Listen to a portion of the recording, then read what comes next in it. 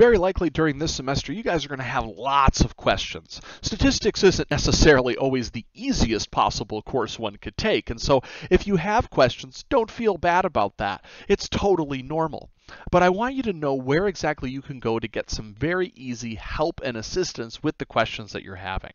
So first off, be aware that you can always email me questions, but you can also attend office hours. We covered office hour times in the syllabus. If you don't remember what they are, you can always look back there. But how do we get to the office hours? Where exactly do we meet? Well, that's actually going to be right here. If you look at this link in Blackboard, it's the Collaborate office hours. And if you click on this, it's going to pull up another window that looks like this. If you just click this link for our class, it'll go ahead and provide us with a join course room link. You click this, and we will join into a class. Now, I'll often, or I'll be sitting in this room during office hour times all the time. There's no need to make an appointment to meet with me. You just show up, and I'll be sitting here. And then you'll kind of see our different tiles show up, you know, with our faces and things, uh, much like in a Zoom or in a Skype call or something like that. Okay.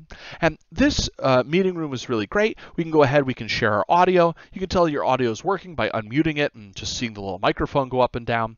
We can share video, we can share our screens, uh, we can share files together. And so it's a great way for us to get together and kind of work on problems, whether those are problems from the notes or from the worksheets or heck, even from the homework. Feel free to ask me questions about the homework. It's never, never a problem.